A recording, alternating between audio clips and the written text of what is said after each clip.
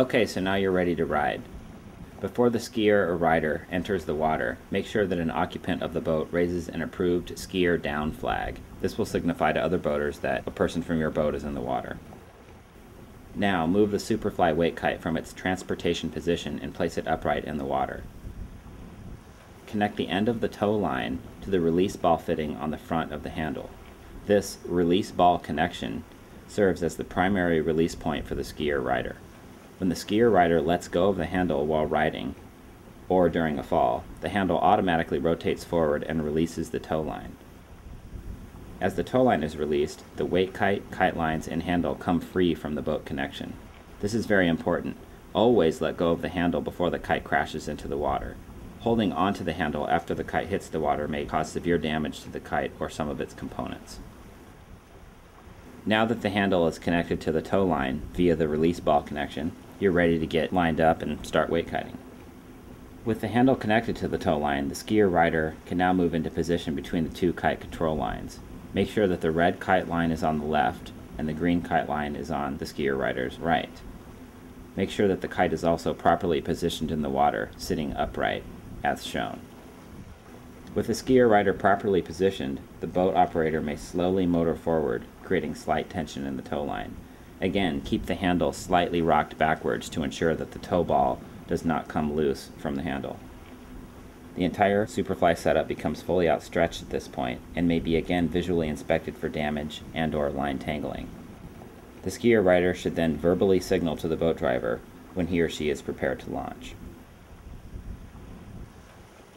A wake kite launch is similar to a standard deep water start. The wake kite will lift off the water at approximately 8 to 10 miles an hour and ascend to a position above and slightly behind the skier rider. The wake kite will lift off faster if driving into a light breeze. The skier rider will also be aware of the kite lifting off, both visually and by his or her arms being pulled up from tension on the handle. If the kite veers strongly to one side or is headed for a crash, immediately let go of the handle. Do not crash the kite into the water while still holding on to the handle, as shown.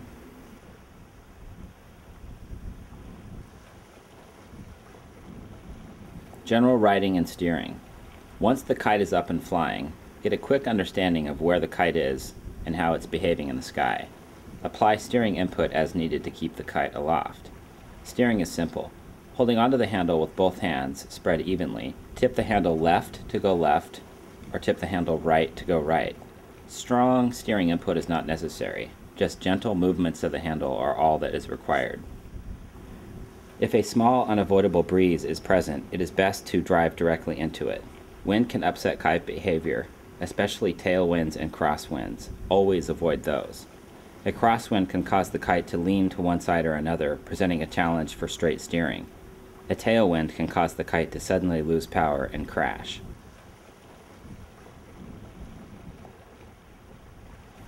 If the kite behaves erratically when wind conditions are calm, and your steering input cannot be blamed.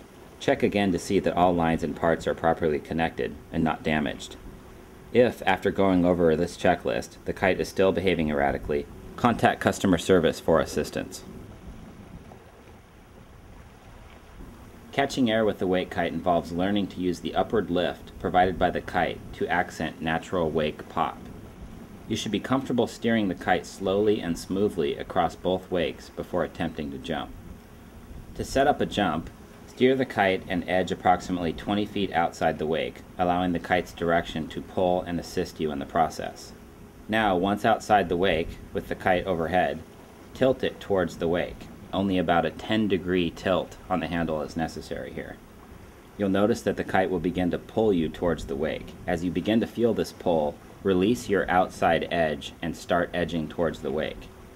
At this very same moment, immediately flatten out the steering handle. This will cause the kite to start flying upward in the sky versus across.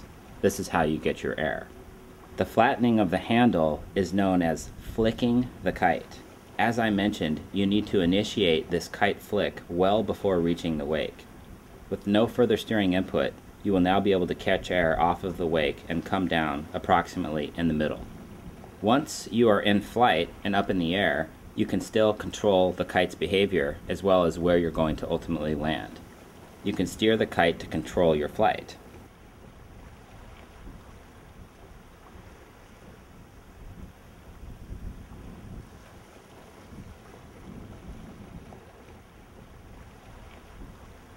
You can end your ride on the wake kite in one of two ways falling and letting go of the handle, or intentionally letting go of the handle.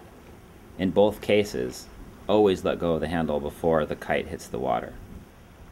After falling or intentionally ending the ride, the kite will drop down to the water surface. Swim to the kite if it is a few feet away. If not, wait for the boat to return and provide assistance.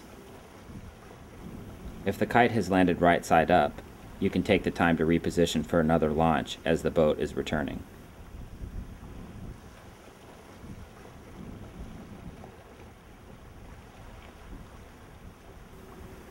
If the kite is upside down, you can flip it over, or wait for the boat to return and provide assistance in flipping the kite.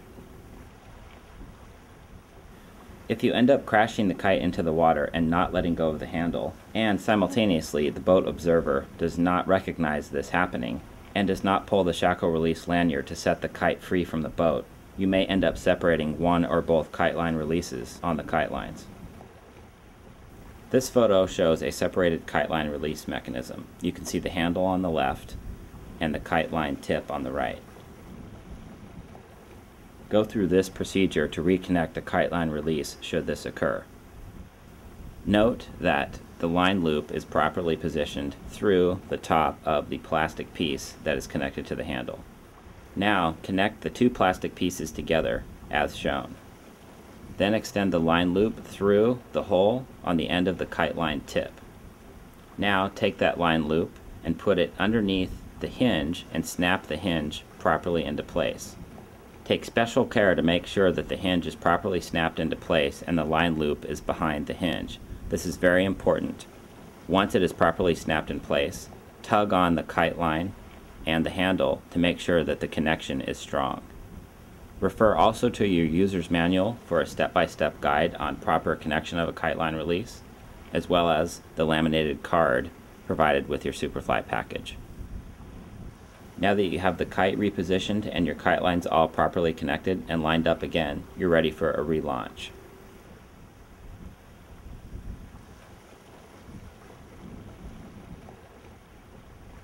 The first step in breaking down the wake kite system is to disconnect all lines from the kite. This does not include the permanently affixed kite bridles, which stay with the kite.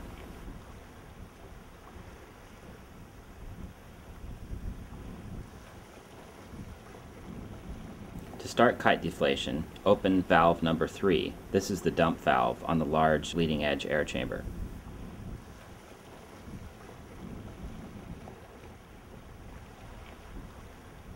Next, open valves numbered 1 on both kite struts. You'll need to insert the small black plastic tabs on the tip of the valve covers to allow air to escape from these valves.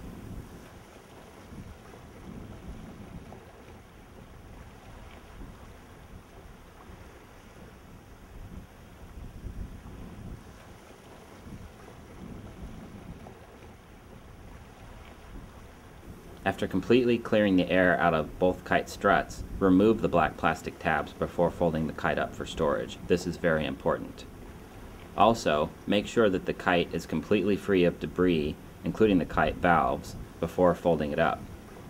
You must also make sure that the kite is dry before permanently storing it.